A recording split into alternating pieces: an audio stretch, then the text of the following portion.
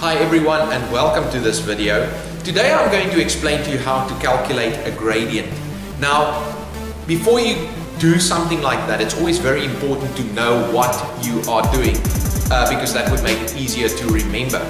Now, the gradient is basically how steep a slope is between two different places. Now that is the simplest way of explaining it. So the formula is gradient equals vertical interval over horizontal equivalent.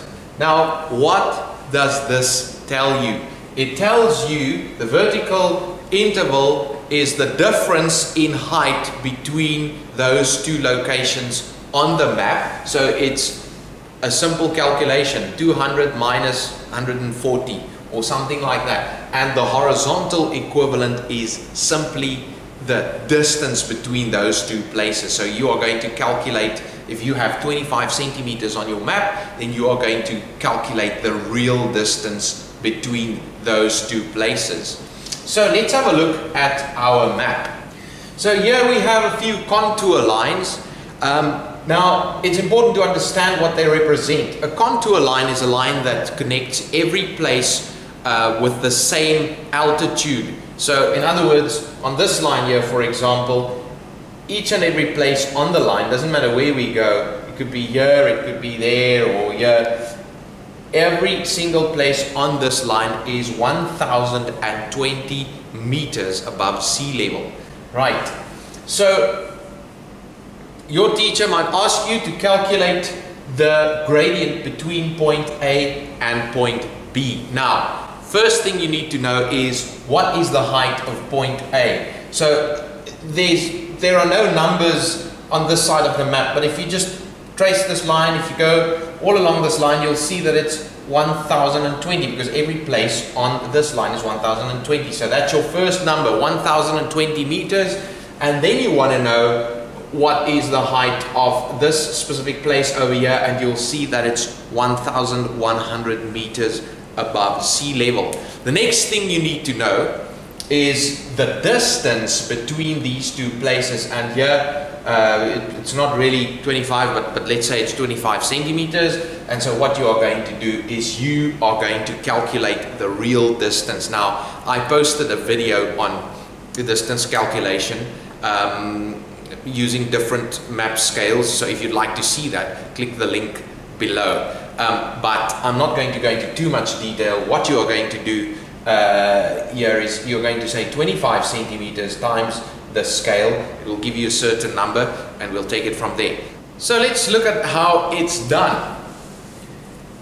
So firstly we want to find the difference in height. So it's a 1100 minus 1020 and here we are going to calculate the distance. It's 25 centimeters times 50,000.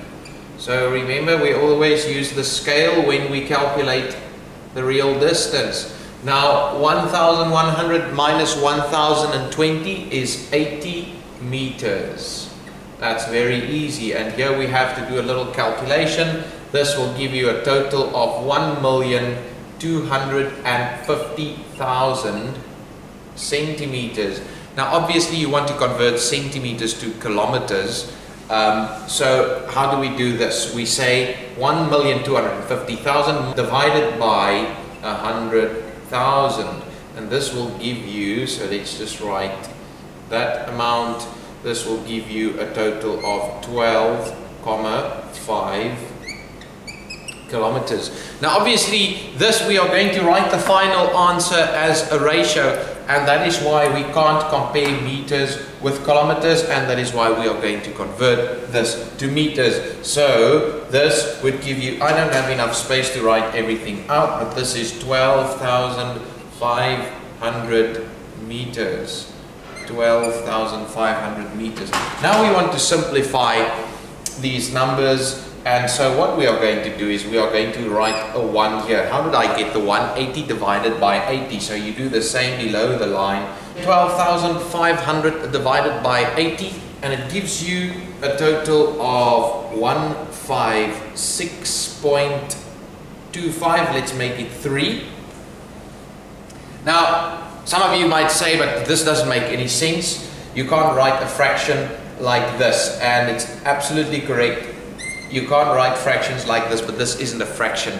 This is a ratio. This is uh, nothing to do with maths or, or fractions or anything like that. So this is how we are going to write it. It's 1, 2, 1, 5, 6, comma 3.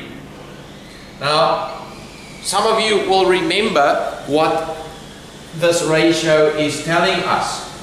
It tells us that for every 156,3 meters that we travel from point A to point B, there will be an increase in height of one meter. Now, what does this tell us about the slope? It tells us that it's a very, very gentle slope because you have to travel quite a long distance before there's an increase uh, in height of only one meter.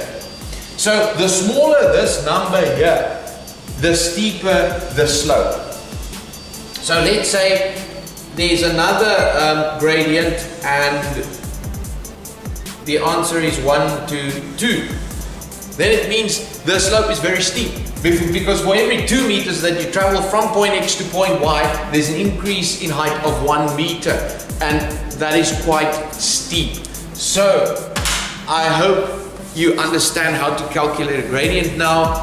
I've also posted other videos on how to calculate distance. I explain map, different map scales in, in, in detail and I've also posted a video on how to, to measure a bearing and so on. So, so please feel free to click one of the links below if you need more information on some of these topics and remember to subscribe. Thanks for watching. See you next time.